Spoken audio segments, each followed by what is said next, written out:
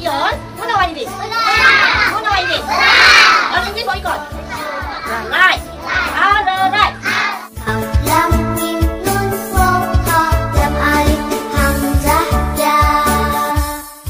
Baiklah anak-anak, sekarang mari kita lihat contoh kata-kata bagi setiap huruf yang akan kita pelajari dalam bahasa Arab, bahasa Melayu, dan bahasa Inggris.